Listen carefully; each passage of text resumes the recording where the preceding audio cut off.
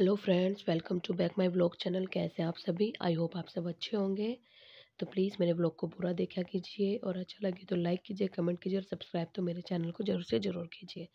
तो देखिए, ये जो हमारी भैंस है ना, इसकी डिलीवरी हो रही है। मतलब मैं तो देखो देख भी नहीं पाती हूँ तो मैंने थोड़ा बहुत मतलब कि नज़र भर के नहीं देखती हूँ तो मेरे हस्बैंड बैठे हुए हैं। तो ये देखो कितनी पीड़ा सह रही है। जैसे हम औरतें पीड़ा सहती हैं ना ऐसे जानवर भी चाहते हैं। देखो बेचारे कितना दर्द में तड़प रही है ये, कि भाई बच्चा बाहर आ जाए।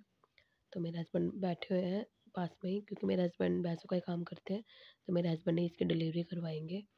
वो इसी बाट में बैठे हैं कि ये बैठेगी तो एकदम से बच्चे को ना बाहर खींच लेंगे, क्योंकि बच्चे के पैर ना दिखाई देने लग गए थे।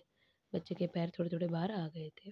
तो इसलिए इधर से करा रही थी और फिर मैं चूल्हे पर ना रोटियाँ बना रही थी तो इसलिए मैं कैमरा लगा कर चली गई थी। नहीं तो मैं और अच्छे से बनाती देख लीजिए भैंस कैसे मतलब तड़प रही है। और आपको पता है, ये मतलब कि ये तो मेरी बाहर बंद रही थी, इसको बंदर लेकर आए थे सारी भैंसों के साथ। मतलब ऐसा होता है, ये बाहर बंद रही थी ना तो मेरी सास गोबर हटाने गई थी तो उसने देखा, थोड़ा कुछ बाहर निकल रहा होगा। देखो, पैर निकल रहे हैं ना तो फिर उसने देखा ना तो उसने मेरे को बोला कि भाई फ़ोन कर दे, इसके डिलीवरी होने वाली है। फिर मैंने फ़ोन करा तो वहीं बैठे थे ये। फिर इसको अंदर लेके आ गया हमारे। फिर इसको यहाँ बाँध दिया था। ये देखो, दर्द हो रहा है इसको बहुत ज़्यादा। ये भी तो आखिर पशु है, बेचारी बोल भी नहीं सकती और देखो आँसू भी आँखों में। तो मतलब कि हम यही कह रहे थे मैं फटाफट हो जाए हो जाए। तो मैं अपने हस्बैंड से पहले तो पूछ रही थी मैं कहा कितनी देर लगेगी? तो कह रहा, कुछ नहीं कह सकता। दो मिनट भी लग सकते हैं, दो घंटे भी लग सकते हैं। मैं कहा अच्छा तो फिर मैं तो रोटी बनाने चली गई थी तो मैंने कैमरा लगा दिया था। तो थोड़ा ना हिल रहा है, ब्लर हो रहा है। तो प्लीज़ इसको इग्नोर कीजिएगा आप लोग। देखो, ये बैठ गई है। अब वो बैठ गई मतलब इसको इतना दर्द हो रहा था ना, बैठ है और फिर उठेगी, बैठेगी। तो ये मेरे हस्बैंड पास में गए थे कि बच्चे के पैर ना खींच लूँगा एकदम से मैं, बच्चे को बाहर निकाल दूँगा। बैठ गई थी। लेकिन फिर ये मतलब शायद एकदम से खड़ी भी हो गई थी, क्योंकि इससे निकल गया, देखो बच्चा हो गया। मेरे हस्बैंड ने पैर खींच लिए थे। मदद करवाते मतलब भैंस की भैंस खुद भी ज़ोर लगाती है। कि बच्चा बाहर आ जाए और मेरे हस्बैंड एकदम खींच भी लेते हैं। इन्होंने बहुत बार डिलीवरी करवा रखी है भैंसों की। फिर ये ब्लेड लेके आई थी मेरी सास। फिर इसकी नाल वाल काटी थी कि भैया अलग कर देंगे, क्योंकि बच्चे की सूंड होती है ना, वो। देख लो, हमारी भैंस के फिर हुआ था काटड़ू। तो मेरी सास एक डायलॉग मारती है, लुगाई के छोरा और भैंस के छोरी, बढ़िया रहा करे। तो मैं हंस रही थी, मैं कहा अच्छा जी, मैं कहा, हमें तो ज्ञान है नहीं इतना। पर जी देखो जी, लड़की हो, लड़का हो, कुछ भी हो, एक माँ के लिए तो बराबर ही होता है। मेरे हस्बैंड के हाथ देखो सारे सने पड़े हैं। फिर इन्होंने ये बच्चे को चाट रही थी अपने भैंस देखो कैसे चाट रही है, प्यार कर रही है। फिर मेरे हस्बैंड ने ना इसको वो कर दिया था, ये लता उड़ा दिया था। ये गर्म शॉल सी है मतलब उछाड़ टाइप कि भाई अब ये जच्चा हो गया ना तो इसका थोड़ा ध्यान रखना पड़ेगा हम लोगों को। अभी अभी भी आई है, इसलिए तो इसको अच्छे से रखेंगे हम लोग। तो मेरा हस्बैंड इसकी बहुत सेवा करता है। हमारे पास गाय भी है मैं उसकी भी दिखाऊँगी आपको एक बार वीडियो देख लो, ये भैंस अपने बच्चे को कितना चाट रही है। इतना प्यार कर रही है मतलब इसके काटोड़ू हो गया है। और हमारे दूध भी नहीं हो रहा था अब। अब थोड़ी दूध दूध हो जाएगा। अभी दूध देने लग जाएगी। मतलब कि भैंस थोड़ी खतरे में रहती है, जब तक जेर नहीं घेरती। तब इसका थोड़ी बाट देखेंगे जेर घेरने की। जेर थोड़ा ही दो तीन घंटे में घेरती है। अगर वो जेर अंदर ही रह जाता है ना भैंस के तो जहर बन जाता है।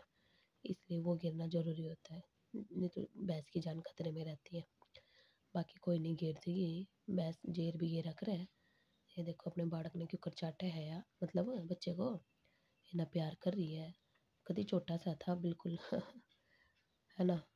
वही वाली बात है जी, जानवरों को भी बहुत पीड़ा होती है। जैसे लेडीज़ पीड़ा सहती है, ऐसे जानवर भी पीड़ा सहते हैं। देख लो।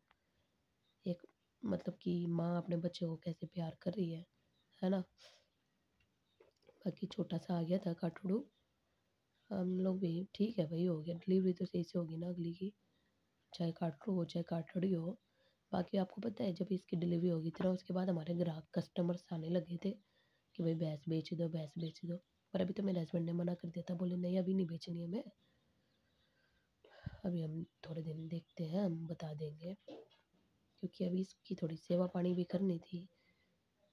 गुड़ गुड़ का थोड़ा पानी बनाते हैं ना तो वो पिलाते हैं, इसको शरबत कहते हैं उसे, जैसे जच्चा को दिया जाता है, लेडीज़ को कुछ कुछ बना के गरम गरम तो ऐसे भैंस को भी दिया जाता है। तो मेरे हस्बैंड बनवाते हैं, गुड़ का शरबत होता है, वो पिलाते हैं गरम गरम थोड़ा निवाए निवाए सा। मैं शरीर ठीक रहे, इसका अपना दूध दाद सही दे, अपना गरम गरम सा रहे, ठंडा लगे अगली को जापे का शरीर होता है, क्योंकि इसका भी कमज़ोरी आ जाती है तो इसकी सेवा करनी पड़ती है। जैसे एक लेडीज़ की करते हैं ऐसे इसकी करते हैं, बस ये है कि लेडीज़ की सवा महीने करते हैं, इसकी थोड़े कम टाइम करते हैं। ये देखो मेरे हस्बैंड खड़े हुए हैं, अब ये बाट देख रहे थे। जेर गिरने की भाई, जेर गिरेगी, इसलिए वहीं खड़े थे। और सबसे बड़ी बात ना काटड़ू को अकेला नहीं छोड़ सकते, क्योंकि इसकी सूंड होती है ना, जैसे काग होते हैं ना कौए कौए तो वो ना चोच वोच मार देते हैं कुत्ते उत्ते हैं वो भटकने लग जाते हैं आसपास कि भाई खा जाएँगे। तो बहुत ध्यान रखना पड़ता है, दो चार दिन तो कम से कम बच्चे का। डर रहता है, कहीं उसकी सूंड ना खा जाए। इसलिए वो बचा तो उठ नहीं पाता ना, अपने आप को बचा नहीं सकता भैंस बंधी रहती है। तो इसलिए हम लोगों को ध्यान रखना पड़ता है। तो आप लोग देख लो, हमारी भैंस की डिलीवरी हो गई है, हमारे भैंस के हो गया छोरा, काम में हो गया ढिंडोरा। चलो जी, बढ़िया है, बच्चा हो गया, अगली के, घड़ी दुखी हो रही थी यहाँ, इतने जाडे में ब्याह की ये देखो, वो तो मेरे हस्बैंड की है मर्ज़ी है, वो रखेगा कि इसने बेचेगा। है ना? बाकी देखेंगे, जो भी होगा। बाकी अभी तो ये हमारे घर ही है तो हम इसकी सेवादारी करेंगे। मतलब मेरे हस्बैंड बहुत सेवा करते हैं, भैंसों की बहुत ज़्यादा सेवा करा करें मतलब इतनी तो मैं भी नहीं कर सकती। वो बहुत करा करें भैंसों के लिए। तो ये बच्चा इसके पास थोड़ी देर बंदा ही रहेगा।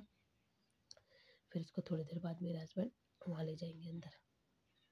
अंदर एक रूम होता है ना इनका, बना होता है। तो वहीं लेके चले जाएँगे इसको। और बच्चे को, क्योंकि ठंड हो रही है ना बाहर तो तो थोड़ी देर अभी यहीं रखेंगे फिर उसके बाद ले जाएँगे बच्चे को। ये देखो भैंस के आगे रख दिया है बच्चा, उठा के इन्होंने, कि अच्छे से चाट लेगी। क्योंकि अगर भैंस बच्चे को चाटती नहीं है ना, अगर जैसे थोड़े दूर हो जाती है तो फिर ये भूल जाती है कि इसका बच्चा है ये, फिर दूध दूध नहीं देती, बड़ा नुकसान हो जाता है। और फिर बच्चे को भी लाड नहीं लड़ाती, इसलिए इसका ही चाटना बहुत ज़रूरी होता है बच्चे को। मेरे हस्बैंड इसलिए इसके पास रख रहे थे कि भाई देख ले तेरा बच्चा है, चाट ले। फिर इसने अपने बच्चे को चाट रही थी, प्यार कर रही थी, लाड कर रही थी। मेरे हस्बैंड वहीं आसपास ही थे। ये मतलब इनके हाथ वाथ गंदे हो गए थे। फिर उसके बाद ही इसको गोद में उठा के ले आए थे छोटे बच्चे को। फिर इसको यहाँ अंदर बाँध दिया था क्योंकि बाहर कौओं का डर था, कुत्तों का डर था।